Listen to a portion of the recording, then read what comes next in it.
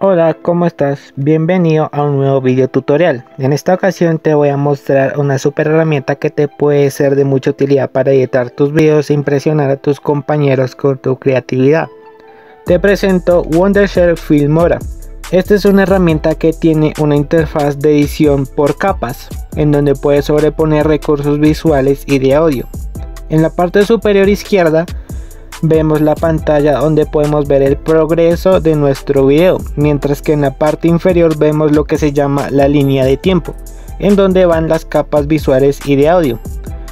La línea naranja nos indica el tiempo que transcurre en nuestro video. Esto también nos ayudará a saber en qué parte ubicar los recursos que usaremos para darle vida a nuestro video. La tercera y última sección es donde nos deja ver los recursos que nos ofrece el programa, como los títulos con distintas fuentes y distintos diseños, las transiciones, efectos en donde están los filtros para darle ambientación al video y los elementos que son como pegatinas que le harán un toque animado a tus videos.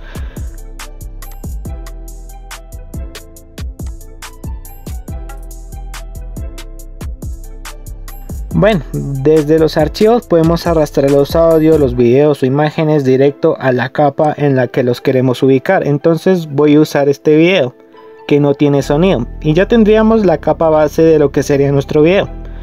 Entonces debo ponerle un audio que grabé explicando lo que aparece en el video. Entonces lo busco y lo pongo en una capa de audio.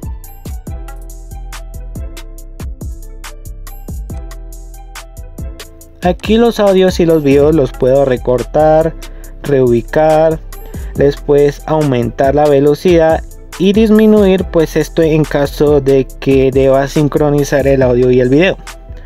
Vale, entonces también quiero ponerle música de fondo.